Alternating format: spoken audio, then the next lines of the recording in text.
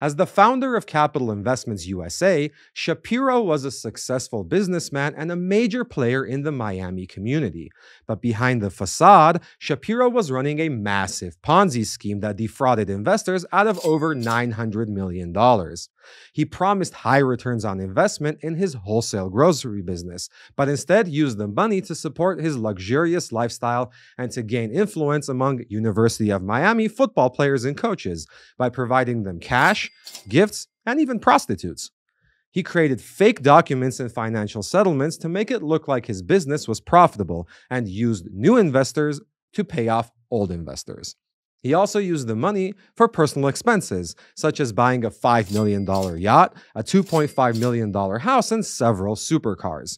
He was charged with securities fraud, money laundering, and other charges. In 2010, he was sentenced to 20 years in prison for his crimes.